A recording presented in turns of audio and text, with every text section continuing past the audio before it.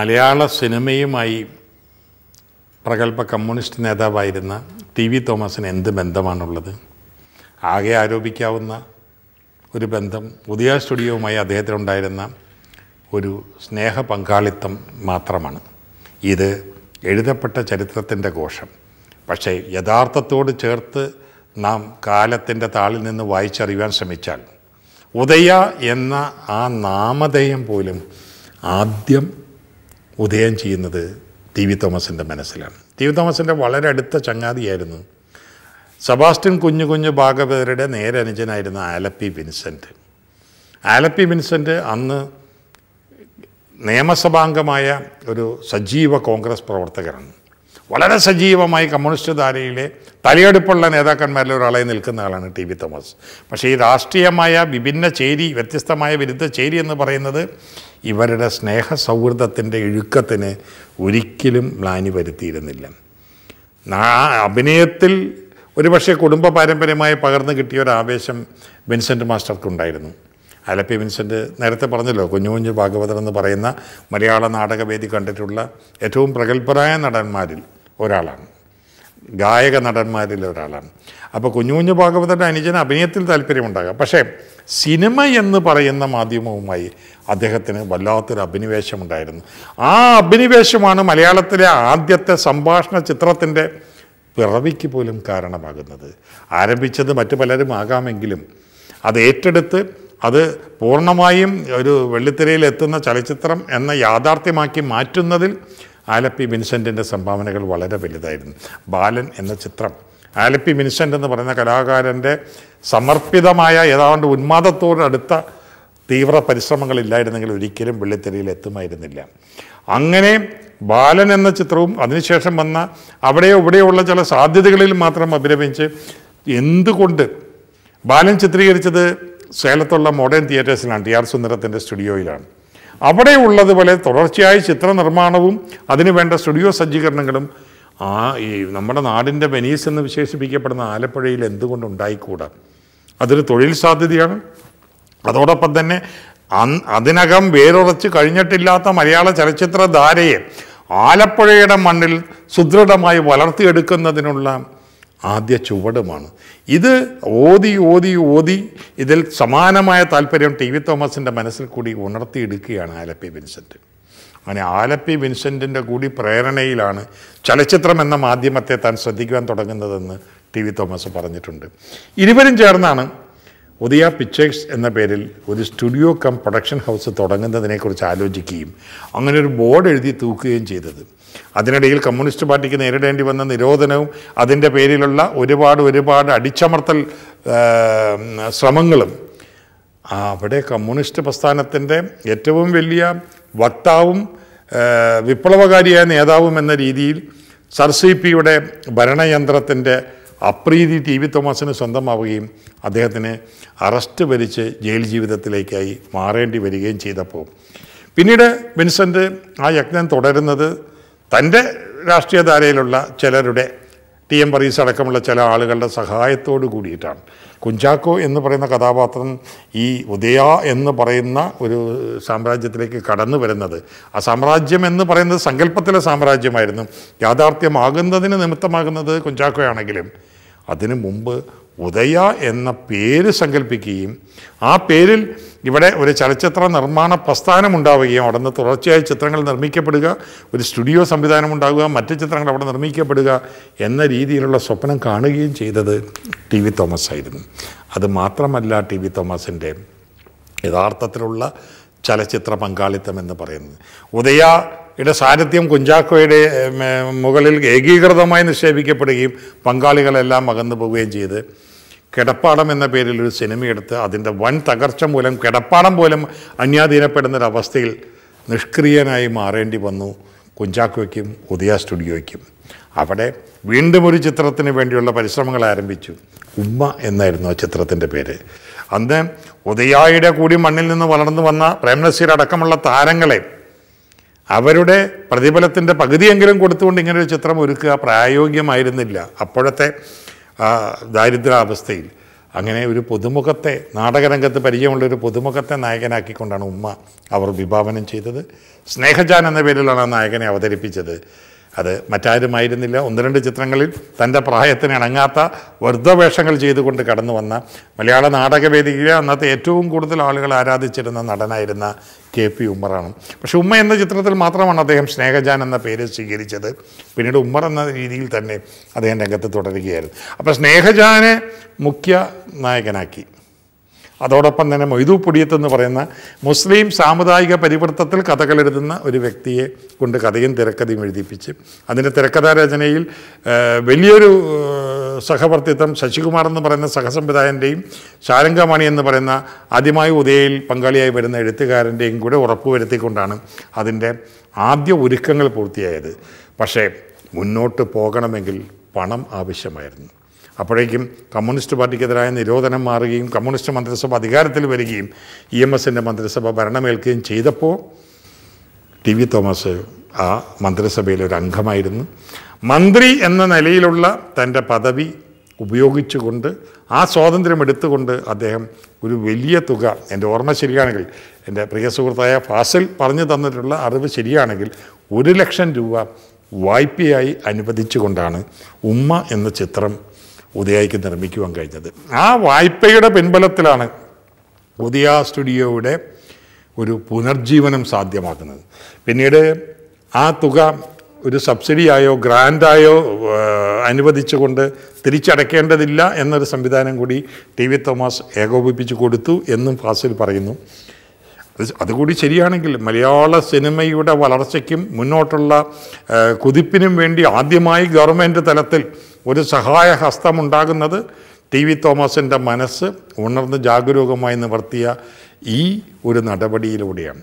പിന്നീട് എത്രയോ നാളുകൾക്ക് ശേഷമാണ് നമുക്കിവിടെ സബ്സിഡി സമ്പ്രദായങ്ങൾ ഉണ്ടാകുന്നത് നല്ല ചിത്രങ്ങൾക്ക് അവാർഡ് കൊടുത്ത് പ്രോത്സാഹിപ്പിക്കുന്ന സംവിധാനം ഉണ്ടാകുന്നത് ചലച്ചിത്രത്തെ വ്യവസായം എന്ന രീതിയിൽ അംഗീകരിക്കുന്നതിനും വേണ്ട സാമ്പത്തിക പിൻബലം നൽകുന്നതിനുമുള്ള സംവിധാനങ്ങൾ ഒരുക്കപ്പെടുന്നത്. അതിനൊക്കെ എത്രയോ മുമ്പ്. സിനിമ എന്ന് പറയുന്നത് കൈവിട്ട ഞാനിന്മേൽ കളിയായിരുന്ന കാലഘട്ടത്തിൽ ഈ മാധ്യമത്തിന് ഒരു വ്യവസായ പ്രാധാന്യമുണ്ടെന്ന് തിരിച്ചറിയുകയും ഈ മാധ്യമത്തിന് ഇവിടെ വേരുറച്ച് നിന്നുകൊണ്ട് ഒരുപാട് പേരുടെ ജീവിതത്തിന് ഉപജീവനത്തിന് മാർഗമായി തീരുവാനും ഈ നാടിന്റെ സംസ്കാരത്തെ പ്രേക്ഷകരുടെ മനസ്സിൽ പുതിയ വിചാരണകൾക്ക് വശംപഥമാകുന്ന വിധത്തിൽ വിന്യസിപ്പിക്കുന്നതിനും പ്രാപ്തി സാധ്യതകളുണ്ടെന്ന് തിരിച്ചറിയുകയും ചെയ്ത ഒരുപക്ഷെ കേരളത്തിലെ ആദ്യത്തെ ഭരണാധികാരി ടി വി തോമസാണ് ടി വി തോമസിന് അവസാന നാളുകളിൽ ഉദയവുമായിട്ടുള്ള സജീവമായ പങ്കാളിത്തങ്ങളൊന്നും ഉണ്ടായിരുന്നില്ല എങ്കിലും കറ തീർന്ന കലാകാരനായിരുന്നു കലാസ്വാദകനായിരുന്നു ടി വി തോമസ് എന്നുള്ളതിന് യാതൊരു സംശയവുമില്ല. ടി വി തോമസിനെക്കുറിച്ച് എറണാകുളം നഗരവുമായി ചേർത്ത് ആലോചിക്കുമ്പോൾ മനസ്സിൽ തെളിഞ്ഞു വരുന്ന ഏറ്റവും മെഴിവാർന്ന ഒരു ചിത്രം എറണാകുളത്തെ പ്രസ് ക്ലബ്ബ് റോഡിൽ ടി ബി റോഡെന്നായിരുന്നു പഴയ പേര്. അവിടെ സാക്ഷാൽ വൈക്കം മുഹമ്മദ് ബഷീർ ഒരു ബുക്ക് സ്റ്റോൾ നടത്തിയിരുന്നു ബഷീർ ബുക്ക് സ്റ്റോൾ എന്ന പേര്. ആ ബുക്ക് സ്റ്റോളിന്റെ മുമ്പിൽ കാറിട്ട് അവിടേക്ക് മുണ്ടും മടക്കി കത്തുകൊണ്ട് കയറി വന്ന് ടി വി തോമസ് കടന്നു വരുന്നതെന്ന് പറയുമ്പോൾ ഒരു ഫയൽമാന്റെ ശരീരമാണ് ഒരു മാടമ്പി പ്രഭുവിന്റെ ശരീരഭാഷയാണ് അദ്ദേഹത്തിനുള്ളത്. നല്ല ചതുരാകൃതിയിലുള്ള മുഖം മോലേക്ക് എണ്ണ തേച്ച് മിനുക്കി ചീകി ഒതുക്കിയ മുടി കട്ടിക്കണ്ണട. അത് ചിലപ്പോൾ എടുത്ത് താഴെ വയ്ക്കും ചിലപ്പോൾ മുകളിലേക്ക് വയ്ക്കും ആ മീശയും താടിയുമൊന്നുമില്ലാത്ത മുഖത്ത് വിടരുന്ന ചിരിയെന്ന് പറയുന്നത് ഒരു പക്ഷേ ടി വി തോമസിന്റെ ആകാരത്തോളം തന്നെ വിശാലത ആ ചിരിക്ക് അവകാശപ്പെടാനുണ്ട്. പഴയ രീതിയിലുള്ള ഒരു പ്രത്യേകതരം ജുബ്ബ അതിന്റെ ഒരു കോളർ ഒരു ബട്ടൺ വിടർത്തിയിട്ട് ഇങ്ങനെ താഴേക്ക് മടങ്ങിക്കിടപ്പുണ്ടാകും. തെറുത്ത് കയറ്റിയ ഇരു കൈകളും. അങ്ങനെ കടന്നു വരുന്ന ടി വി തോമസ് ബഷീറിന്റെ അടുത്ത് വന്ന് ആദ്യം ഒരുമ്പെടുന്നത്. അരോഗ ദൃഢഗാത്രനായിരുന്നു ടി വി തോമസ് എന്ന് ആലോചിക്കണം ഫയൽമാന്റെ ശരീരഭാഷ എന്ന് പറയുന്നത് ആലങ്കാരികമായി പറഞ്ഞതല്ല. നിന്നാൽ ഒത്ത ഉയരവും ഒത്ത അംഗ ബലവുമുള്ള ആർക്കും നേരിട്ട് കയറി എതിർക്കാൻ ധൈര്യം തോന്നാത്ത രീതിയിലുള്ള ഒരു ആകാര ഗാംഭീര്യം ടി വി തോമസിനുണ്ടായിരുന്നു. നേരെ ടി വി തോമസ് വന്ന് ബഷീറിന്റെ മുമ്പിലിരുന്ന് അവർ രണ്ടുപേരും കൂടെ പഞ്ച് പിടിക്കുമായിരുന്നു. അങ്ങനെ പഞ്ച് പിടിച്ചുകൊണ്ട് നിസ്സാരമായി ബഷീറിനെ തോൽപ്പിക്കാൻ കഴിയുമായിരുന്നിടത്ത് ഇല്ലാത്ത ബലക്ഷയം തന്റെ കരങ്ങളിലേക്ക് നിവേശിപ്പിച്ച് തോറ്റുകൊടുക്കുകയും പന്തയം വയ്ക്കുന്നതിന്റെ ഭാഗം അവിടെ അടുത്തുള്ള കൊളംബോ ഹോട്ടലിൽ ബഷീറിന്റെ പറ്റിലേക്കുള്ള വരവാക്കി ചേർത്ത് കൊടുക്കുകയും ചെയ്യുന്ന ഒരു ടി വി തോമസ്. ബഷീറിനെ സഹായിക്കുന്നത് ബഷീറിന്റെ അഭിമാനത്തിന് മുറിവേൽപ്പിച്ചുകൊണ്ടാകരുത് എന്ന് നിർബന്ധമുള്ള ടി വി തോമസ്. ആയിരത്തി തൊള്ളായിരത്തി അൻപത്തി ഏഴിൽ കമ്മ്യൂണിസ്റ്റ് പാർട്ടിക്ക് ഭരിക്കുവാനുള്ള അധികാരം സ്വന്തമായി ലഭിച്ചപ്പോൾ ഭൂരിപക്ഷം ലഭിച്ചപ്പോൾ അന്ന് കമ്മ്യൂണിസ്റ്റ് പ്രസ്ഥാനത്തിന് കോട്ടക്കൊത്തളങ്ങളൊന്നും സ്വന്തമായിട്ടില്ല. സ്വന്തമായൊരു ഓഫീസ് മന്ദിരം പോലുമില്ല. എറണാകുളം നഗരത്തിലാണ് തിരഞ്ഞെടുക്കപ്പെട്ട എം എൽ എമാരുടെ യോഗം ചേരുന്നത്. ആ യോഗം ചേരുന്നത് ടി ഡി എം ഹാളിലാണ്. ടി ഡി എം ഹാളിന്റെ അടച്ചിട്ട ജാലകങ്ങൾക്കും വാതിലുകൾക്കും ഉള്ളിൽ ആരാകും കേരളത്തിന്റെ ഭരണചക്രം തിരിക്കുന്ന മുഖ്യമന്ത്രി എന്നുള്ളതിനെക്കുറിച്ചുള്ള ചർച്ച നടക്കുകയാണ്. പുറമെ കാത്തു നിന്നിരുന്ന പത്രലേഖകരുടെ എല്ലാം മനസ്സിൽ ആദ്യമുണ്ടായിരുന്ന രൂപം മുഖ്യമന്ത്രിയാകാൻ എല്ലാ അർത്ഥത്തിലും സാധ്യതയുള്ള രണ്ട് പേരാണ്. ഒന്ന് അന്ന് പാർട്ടി സെക്രട്ടറി ആയിരുന്ന എം എൻ ഗോവിന്ദൻ നായർ. മറ്റൊന്ന് ഈ പാർട്ടിയെ കരുത്തോടെ മുന്നോട്ടേക്ക് കുതിപ്പിക്കുവാനും ഈ ഭരണത്തെ ഏറ്റവും സുഗമമായി സുഗമമായി ജനക്ഷേമപരമായ വ്യാപനങ്ങളിലേക്ക് ഏഹ്, ഉണർത്തിയെടുക്കുവാനും പ്രാപ്തമായ കൈകൾ എന്ന രീതിയിൽ അവർ മനസ്സിൽ കണ്ടിരുന്ന ടി വി തോമസിന്റെ പേരാണ്. ഏതാണ്ട് എഴുപത്തഞ്ച് ശതമാനം ടി വി തോമസ് ആയിരിക്കും അല്ലെങ്കിൽ ബാക്കി ഇരുപത്തഞ്ച് ശതമാനം എം എൻ ഗോവിന്ദൻ നായരായിരിക്കും കേരളത്തിന്റെ മുഖ്യമന്ത്രി എന്ന് പോലും പ്രവചനങ്ങൾ ഉണ്ടായിരുന്ന സമയത്താണ് വളരെ രഹസ്യമായി ഇവർ രണ്ടുപേരുമല്ല പകരം ഇ എം ശങ്കരൻ നമ്പൂതിരിപ്പാടാണ് കേരളത്തിന്റെ മുഖ്യമന്ത്രി എന്ന തീരുമാനമുണ്ടാവുകയും പിറ്റേന്ന് ഔദ്യോഗിക പ്രഖ്യാപനത്തോടെ മാത്രം അത് വിളംബരം ചെയ്യുകയും ചെയ്തത്. പലപ്പോഴും ആ കാലഘട്ടത്തും തൊട്ടേ കമ്മ്യൂണിസ്റ്റ് പ്രസ്ഥാനത്തിന്റെ സഹയാത്രികരോ അനുവർത്താക്കളായിരുന്നു പലരും. അവർ തമ്മിൽ ഒത്തുചേരുമ്പോൾ എം എസിന് പകരം ടി വി തോമസ് ആയിരുന്നു കേരളത്തിന്റെ ആദ്യത്തെ മുഖ്യമന്ത്രി എങ്കിലോ എന്ന ചോദ്യം ചോദിച്ച് അതിന് ഉത്തരം കിട്ടാതെ പരസ്പരം ശൂന്യമായ മിഴികളിലൂടെ പരസ്പരം ഇടയുന്നതും മൊഴിയുന്നതും ഞാൻ കാണാനിട വന്നിട്ടുണ്ട്. അതൊരു ചോദ്യമാണ്. സാങ്കല്പികമായ ചോദ്യമാണ്. പക്ഷെ ആ ചോദ്യം ചോദിക്കുവാൻ പ്രേരിപ്പിക്കുന്നത് ടി വി തോമസ് എന്ന വ്യക്തിയുടെ നേതൃത്വ പാഠത്തിലും അദ്ദേഹത്തിന്റെ ഭരണസാരഥ്യപരമായ കഴിവുകളിലുമുള്ള അതിരുകളില്ലാത്ത വിശ്വാസവും ആദരവും തന്നെയാണ്.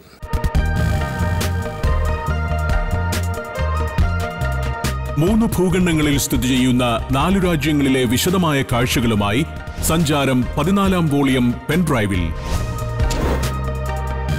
Azerbaijan Indonesia Tajikistan Peru. Sancharam volume number fourteen pendrive വില നാലായിരം രൂപ. ഫുൾ എച്ച് ഡിയിലുള്ള ഈ അപൂർവ ദൃശ്യയാത്രാ വിവരണ ശേഖരം സ്വന്തമാക്കാൻ triple nine five triple four triple two എന്ന നമ്പറിലേക്ക് സഞ്ചാരം എന്ന് എസ് എം എസ് ചെയ്യൂ. കായലിലേക്ക് കൂർത്തു നിൽക്കുന്ന ഒരു മുന പോലെയാണ് ചേർത്തലയിലുള്ള അന്തർപ്പേരുടെ ഭവനം. വളരെ കേളികേട്ട ഒരു ഭവനമാണത്. കാരണം പലപ്പോഴും ഉത്തരേന്ത്യയിൽ നിന്ന് വളരെ പ്രഗത്ഭരും പ്രശസ്തരുമായ പല അഭിനേതാക്കളും ഗാന ചിത്രീകരണത്തിന് വേണ്ടി ആലപ്പുഴയിൽ എത്തുമ്പോൾ അവരുടെ പല ഗാനരംഗങ്ങളും അതിന് മുമ്പും പിമ്പുമുള്ള കൊച്ചു ചില രംഗങ്ങളും വരെ ആ ഭവനത്തിന്റെ നടച്ചാലുകളിലും അതിന്റെ മുമ്പിലുള്ള ആ, മണൽത്തിട്ടയിലും എല്ലാം ചിത്രീകരിച്ചിട്ടുണ്ട്. അതിനകത്തേക്ക് നമ്മൾ ചെല്ലുമ്പോൾ അവരുടെ ഒരു വശത്തുള്ള തെണ്ണയോട് ചേർന്നുള്ള ഭിത്തിയിൽ അലങ്കാരമായി അവിടെ തൂക്കിയിട്ടിരിക്കുന്ന ഫോട്ടോഗ്രാഫുകളുടെ കൂട്ടത്തിൽ നമുക്ക് ദക്ഷിണേന്ത്യയിലെ താരങ്ങളെ മാത്രമല്ല ദിലീപ് കുമാറും ദേവാനന്ദും അടങ്ങുന്ന ഒരുപാട് വിശ്രുത ഇന്ത്യൻ താരങ്ങളെ തന്നെ നമുക്ക് കാണാൻ കഴിയും. അങ്ങനെ അവരിരുന്ന് അലങ്കരിച്ചിട്ടുള്ള ആ തിണ്ണയിലിരുന്നു കൊണ്ട് ഒരു വട്ടമേശയ്ക്ക് ചുറ്റും ആലപ്പുഴ ജില്ലയിലെ കുറേ മാടമ്പിമാർ ഇരുന്ന് ചീട്ട് കളിക്കാറുണ്ടായിരുന്നു. ആ ചീട്ടുകളി സംഘത്തിൽ ഒരു കാലഘട്ടം നിറഞ്ഞു നിന്ന് ആടിയിരുന്ന ഒരാളായിരുന്നു ടി വി തോമസ്. കാഴ്ച മാത്രയിൽ തോന്നിപ്പിക്കുന്ന ഒരു ബൂർഷ മാടമ്പിയുടെ എല്ലാ ശരീരഭാഷയും പ്രവർത്തന ശൈലിയിലുള്ള ആ താൻ പോരുമയും അതോടൊപ്പം തന്നെ അഭിജാതങ്ങളിൽ അഭിജാതമെന്ന് വിശേഷിപ്പിക്കേണ്ട രീതിയിലുള്ള പെരുമാറ്റ സംസ്കൃതിയും ആ മനുഷ്യനിൽ ഒരുപോലെ ഇടചേർന്നിരുന്നു. എപ്പോഴെങ്കിലും അവിടെ ഇരുന്ന് ചീട്ട് കളിക്കുകയും ചൂത് കളിക്കുകയും അല്ലെങ്കിൽ രാവ് മത എന്താ പറയുക മതിച്ച് തിമർത്ത് ആഘോഷിക്കുകയും ചെയ്തപ്പോൾ അവിടെ താനിരുന്ന ആ തിണ്ണപ്പുറത്തിരുന്നു കൊണ്ട് സർ സി പിയുടെ ചേകവന്മാർ യുദ്ധക്കരുനീക്കങ്ങൾ നടത്തി കായലിലൂടെ കടന്നു പോകുന്ന തൊഴിലാളി വർഗത്തിനെ വെടിവെച്ച് വീഴ്ത്തുന്നതിന് വേണ്ടിയുള്ള ഗൂഢാലോചനകളുടെ തന്ത്രം മെടയുകയും ആ പുരണം സി പിയുടെ പോലീസിന്റെ ഒരു ഇടക്കാല താവളമായി മാറുകയും ചെയ്യുന്ന ഏറെ വിദൂരമല്ലാത്ത ഒരു നാളെ അദ്ദേഹം മനസ്സിൽ കണ്ടിരിക്കുമോ? ഇല്ല. പക്ഷെ ചരിത്രം അതൊരു പക്ഷേ മനസ്സിൽ കണ്ടിരിക്കാം. പുന്നപ്രവയലാർ എന്ന് പറയുന്ന കേരളത്തിന്റെ സമരചരിത്രത്തിലെ ഐതിഹാസികം എന്ന് ചരിത്രം വിശേഷിപ്പിക്കുന്ന ഒരു പർവം ടി വി തോമസ് കമ്മ്യൂണിസ്റ്റ് പ്രസ്ഥാനത്തിന്റെ അജയ്യനായ സാരഥികളിൽ ഒരാളായിരിക്കുന്ന കാലഘട്ടത്തിലാണ് അവിടെ നിവർത്തിതമാക്കുന്നത് അന്ന് കമ്മ്യൂണിസ്റ്റ് പ്രസ്ഥാനത്തെ നയിക്കാൻ ബാധ്യസ്ഥനായിരുന്ന കാര്യദർശി പദവിയിലായിരുന്നു ടി വി തോമസ്.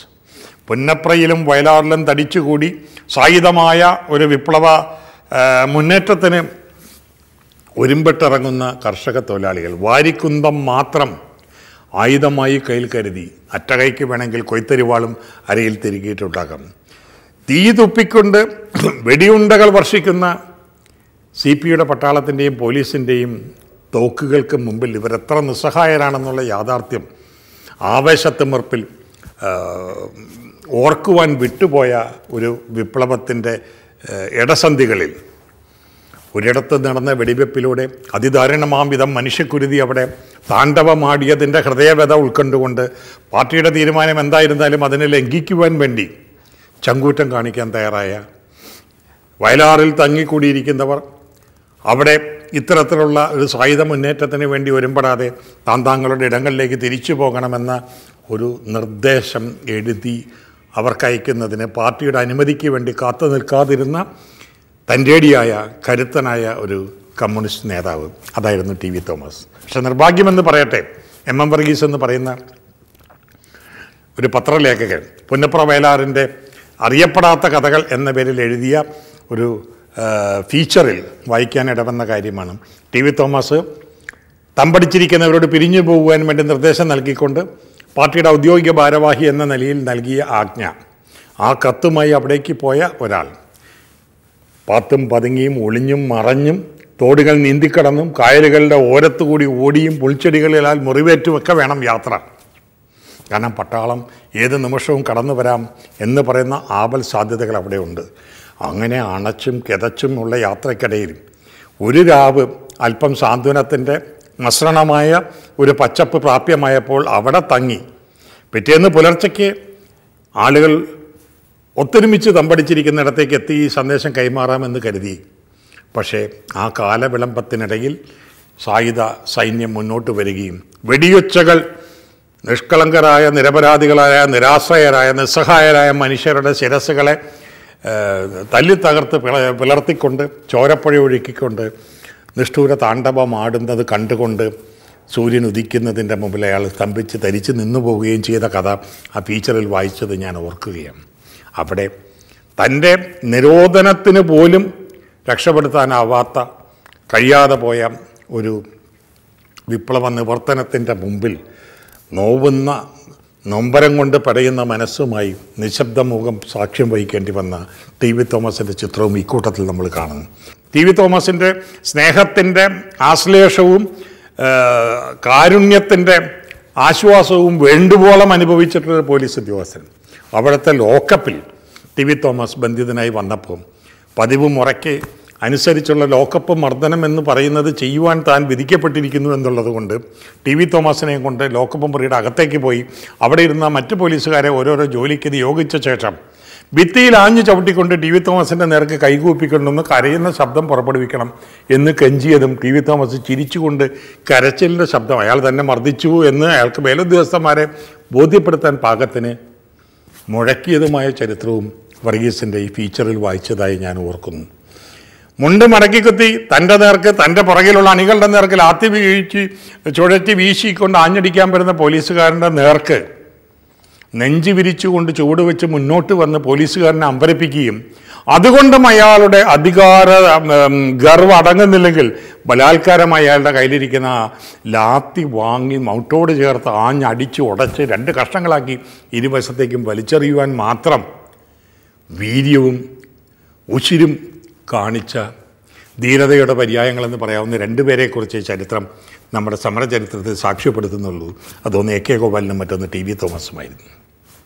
ആജ്ഞാശക്തിയുള്ള ശരീരഭാഷ സ്നേഹത്തിന്റെ അലിവിന്റെ സ്നേഹമസൃണമായ ഹൃദയാഭിമുഖ്യം തോന്നിപ്പിക്കുന്ന രീതിയിലുള്ള സംഭാഷണ ശൈലി ആക്രമണമുരകൾ നിരത്തുന്ന സമയത്ത് നിർദാക്ഷിണ്യം തന്റെ യുക്തിപൂർണമായ വാദമുഖങ്ങളെ നിരത്തുന്നതിൽ അശേഷം പോലും കലവറയില്ലാതെ ആഞ്ഞു കുതിക്കുന്ന ഒരു വാഗ്മയ പ്രവാഹം വലിയ പ്രാസംഗനായിരുന്നില്ല പക്ഷെ പറയാനുള്ളത് പറയേണ്ട വിധത്തിൽ കേൾക്കുന്നവന്റെ മനസ്സിൽ തുളച്ചു കയറുന്ന വിധത്തിൽ പറയുന്നതിന് ടി വി തോമസിന് ആലങ്കാരിക ഭാഷയുടെ പിൻബലം ആവശ്യമായിരുന്നില്ല.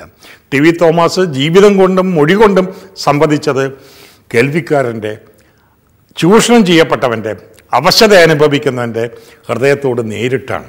അതുകൊണ്ട് തന്നെ ആലപ്പുഴ നഗരത്തിന് ടി വി തോമസിനെ രാഷ്ട്രീയ ഭേദമന്യേ സ്വന്തം നേതാവ് സ്വന്തം സമര തറവാട്ടിലെ കാരണവർ എന്നല്ലാതെ മറ്റൊരു വിധത്തിൽ കാണാനാകുമായിരുന്നില്ല. അദ്ദേഹത്തിന്റെ കൽപ്പകവാടിയിലെ വർഗീസ് വൈദ്യനും അദ്ദേഹവും തമ്മിലുള്ള ഒരു സ്നേഹ സൗഹൃദത്തിന്റെ ഇന്ന് ബാക്കി ശേഷിപ്പ് പോലെ ഉയർന്നു നിൽക്കുന്നു. കൽപ്പവാ കൽപ്പകവാടി ഇൻ എന്ന പേരിൽ ടി വി തോമസ് മുൻകൈയെടുത്ത് പതിച്ചു നൽകിയ ഒരു ഇന്ന് റിസോർട്ടായിട്ട് പ്രവർത്തിക്കുന്ന രണ്ട് മക്കൾ രണ്ട് ഭാഗത്തായി നടത്തിക്കൊണ്ടു പോകുന്ന ഒരു ഒരു അതിഥി മന്ദിര സമുച്ചയം എന്ന് പറയുന്നത് ടി വി തോമസിന്റെ ഒഴിവ് വേളകളിൽ അദ്ദേഹം അവിടെ വരികയും അവരോടൊപ്പം ഒരുപാട് വൈദ്യരോടൊപ്പം ഒരുപാട് പഴങ്കഥകൾ പറഞ്ഞ് സമയം പോക്കുകയും ചെയ്തിരുന്നു അത്രയും വൈദ്യരും ടി വി തോമസും തമ്മിലുള്ള ബന്ധത്തെ അതിൽ കഥാപാത്രങ്ങളായി കടന്നു വന്ന മുഖ്യ കഥാപാത്രമായി കടന്നു വന്ന കെ ആർ ഗൗരി എന്ന് പറഞ്ഞ കഥാപാത്രത്തെ അല്പം ഭാവന സൃഷ്ടമായ രീതിയിൽ വിന്യസിപ്പിച്ചുകൊണ്ടാണ് വർഗീസ് വൈദ്യന്റെ ഇളയ പുത്രനും തിരക്കഥാകൃത്തുമായ ചെറിയാൻ കൽപ്പകവാടി ലാൽ സലാം എന്ന് പറയുന്നൊരു ചിത്രം ഒരുക്കിയത്. അതിൽ ടി വി തോമസിനെ ചിത്രീകരിച്ച രീതിയോടും കെ ആർ ഗൗരിയെ ചിത്രീകരിച്ച രീതിയോടും വിപ്രതി കാണിച്ചുകൊണ്ട് വിയോജനത്തിന്റെ വിമർശന സ്വരങ്ങൾ ഉണർത്തുകയുണ്ട് ഉയർത്തുകയുണ്ടായി കെ ആർ ഗൗരിയമ്മ. പക്ഷേ ചെറിയാൻ കൽപ്പകവാടി എഴുതിയത് ചെറിയാൻ കൽപ്പകവാടിയുടെ പിതാവായിരുന്ന വർഗീസ് വൈദ്യൻ നായകനായുള്ള ഒരു കഥയാണ്. അതിലെ ഉപനായ ഉപനായകനും ഉപനായികയുമായിരുന്നു വി തോമസും കെ ആർ ഗൗരിയും. അതുകൊണ്ട് ഒരുപക്ഷെ ചെറിയാനെടുത്തിരിക്കാവുന്ന ഭാവനാ സ്വാതന്ത്ര്യം താൻ അറിഞ്ഞിരുന്ന യാഥാർത്ഥ്യത്തോട് പൊരുത്തപ്പെടാതെ വന്നതിലുള്ള അമർഷവും ഈർഷ്യയുമാകാം ഗൗരിയമ്മയുടെ വിമർശനത്തിലുണ്ടായിരുന്നിരിക്കുക. അതെന്തായിരുന്നാലും ടി വി തോമസ് ആയിരുന്നു അങ്ങനെ ഒരു പ്രതികരണം ഉന്നയിക്കുന്നതെങ്കിൽ അദ്ദേഹം വളരെ സുന്ദരമായി അർത്ഥഗർഭമായി അതിന്റെ നേർക്ക് നോക്കി പുഞ്ചിരിക്കുക മാത്രമാണ് ചെയ്തിട്ടുണ്ടാവുക. കാരണം ഗൗരിയമ്മ അറിഞ്ഞതിനേക്കാൾ കൂടുതൽ ഗൗരിയമ്മയെ അറിഞ്ഞവനാണ് T V Thomas. T V തോമസിനെ ഗൗരിയമ്മയ്ക്ക് മനസ്സിലാക്കാൻ കഴിഞ്ഞതിനേക്കാൾ ഏറെ അതിന്റെ എല്ലാ ശക്തി ദൗർബല്യങ്ങളോടുകൂടി സ്വയം തിരിച്ചറിഞ്ഞിരുന്ന വ്യക്തിയാണ് T V Thomas. T V തോമസും ഗൗരിയമ്മയും തമ്മിലുള്ള ബന്ധമെന്ന് പറയുന്നത് പരസ്പരം തോന്നിയ ഒരു ആകർഷണം. അവർ രണ്ടുപേരും ഇ എം എസ് മന്ത്രിസഭയിലെ മന്ത്രിമാരായിരുന്ന ശേഷം ആ ആകർഷണം ഒരു സ്ഥിരമായ ബന്ധമായി മാറ്റണമെന്ന് പാർട്ടി എടുക്കുന്ന തീരുമാനം. മുഖ്യമന്ത്രിയും സഹമന്ത്രിമാരും പങ്കെടുക്കുന്ന രണ്ട് മന്ത്രിമാർ തമ്മിലുള്ള വിവാഹം. നമ്മുടെ ഇന്ത്യൻ ചരിത്രത്തിൽ പോലും ഇതിന് താരതമ്യങ്ങൾ മറ്റൊന്നും ഉണ്ടാവണമെന്നില്ല പക്ഷെ നിർഭാഗ്യവശാൽ ആഗ്രഹിക്കുന്ന ഒരു സാഫല്യത്തിലേക്കല്ല ആഗ്രഹിച്ചിരുന്ന ഒരു സാഫല്യത്തിലേക്കല്ല ആ ദാമ്പത്യം കടന്നു ചെന്നത്. ഏറെ വൈകാതെ ശത്രുക്കളായി ഒരു കൂരയ്ക്ക് കീഴിൽ തുടരുന്നതിന് പകരം മിത്രങ്ങളായി നമുക്ക് പിരിയാം എന്ന പഴമൊഴിയെ അല്ലെങ്കിൽ ഒരുപാട് ആവർത്തിക്കപ്പെട്ടിട്ടുള്ള സംഭാഷണ ശകലത്തെ അന്വർത്ഥമാക്കുന്ന വിധത്തിൽ അവർ വഴിപിരിഞ്ഞു. പാർട്ടി രണ്ടായപ്പോൾ ആ വഴിപിരിച്ചലിന്റെ സ്വാധീനം അവരുടെ ആ വേർപെടുത്തലുകൾക്ക് തുടർച്ചയായി ഉണ്ടായ ജീവിത പാന്താവിലും ഉണ്ടായി. ജീവിതാന്ത്യം സ്വയാന്നം പരുഷമായാണ് ടി വി തോമസിനോട് പെരുമാറിയത്. ദീർഘകാലം അദ്ദേഹം രോഗബാധിതനായിരുന്നു. അതിന്റെ അവസാനത്തെ ഏതാനും മാസങ്ങൾ ഓർമ്മ നഷ്ടപ്പെട്ട് അമ്നീഷ്യ എന്ന് പറയുന്ന ശരീരത്തിന്റെ ഉണർവുകൾ ബാക്കി നിൽക്കുകയും ഓർമ്മയുടെ ഉണർവുകൾ മാത്രം നഷ്ടപ്പെടുകയും ചെയ്ത ഒരു അർദ്ധ ജഡാവസ്ഥയിലല്ല. എന്ത് സംഭവിക്കുന്നു ധനരാത്രങ്ങൾ കടന്നു പോകുന്നു ഇല്ലയോ ഒന്നും അറിയാതെ അതോ അറിയുന്നുവെങ്കിൽ തന്നെ അറിയുന്നു എന്നുള്ളത് മറ്റുള്ളവർക്ക് കണ്ടെത്താനാവാത്ത വിധത്തിൽ നിശ്ചേതനമായി കിടക്കുന്ന ഒരു ശരീരം മാത്രമായി ടി വി തോമസിന് നാളുകളല്ല ആഴ്ചകളല്ല ദീർഘനാൾ കിടക്കേണ്ടി വന്നു. പൗരുഷം നിറഞ്ഞു നിന്ന തന്റെ ഭൗതിക സാന്നിധ്യം കൊണ്ട് അതിനെല്ലാം അതീതമായി ആ മനുഷ്യൻ കാലത്തിന്റെ ധാരകളിൽ മനസ്സോർമ്മകളിൽ തലമുറകളുടെ ഹൃദയധാരയിൽ പതിപ്പിച്ചു പോയ ഓർമ്മകൾക്ക് മാത്രം മറവി രോഗം ബാധിക്കുന്നില്ല. ആട്ടക്കളത്തിൽ നിന്ന് ആട്ടക്കാരൻ ഇറങ്ങിപ്പോയാലും ആട്ടത്തിന് സാക്ഷിയായ തിരുനാളം ജ്വലിച്ചുകൊണ്ട് ആട്ടത്തിന്റെ ഓർമ്മകൾ അയവിറക്കുന്നു എന്ന് പറഞ്ഞതുപോലെ ആ തീനാളത്തിൽ കാലം ഉൾച്ചേരുന്നു. ആ ഓർമ്മകൾ ഇന്നും സചേതനമായി മലയാളി മനസ്സിൽ നിറഞ്ഞു നിൽക്കുന്നു.